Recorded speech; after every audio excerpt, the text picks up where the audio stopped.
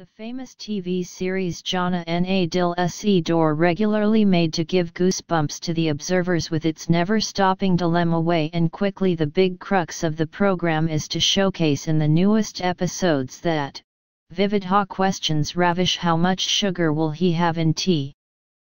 He answers I will spruce up and have tea.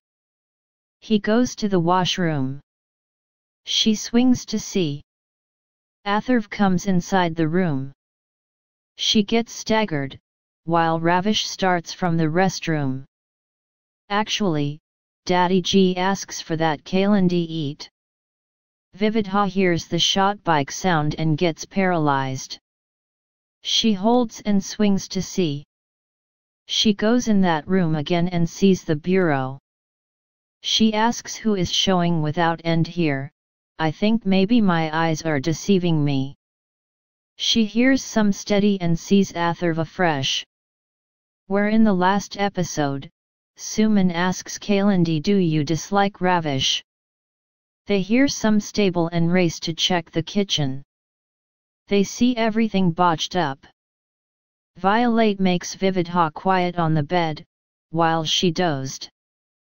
She talks in comfort and holds his hand, saying kindly don't abandon me where in the latest episode, Vividha asks Ravish how much sugar will he have in tea. He says I will spruce up and have tea. He goes to the washroom. She swings to see. Dot Atharv comes inside the room. She gets shocked, while Ravish starts from a restroom. She focuses on observing Ravish and Atharv at her either side. Damage gets shocked seeing Atharv in their room. Ts morning, Vividha talks in rest and says no. Disregard stares and hears her. She says no, sympathetically don't go, don't surrender me, it would be ideal if you. He tries to escape and she holds his hand, saying in what limit will I live without you, don't go, Atharv. She stirs and swings to see Ravish. He looks. She leaves his hand. She asks how would I be able to have possessed the capacity to I come here. He asks are you fine? She says yes. He asks did you see any ghastly dream? She says no. He asks to whom were you talking? She says no one, how might I be able to have possessed the capacity to I proceed to bed?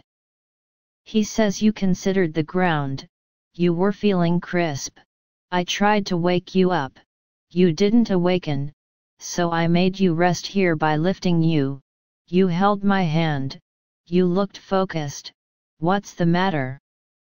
She says I'm fine, did you sit for the duration of the night, I mean your hand, he says it's okay, I didn't wish to wake you up.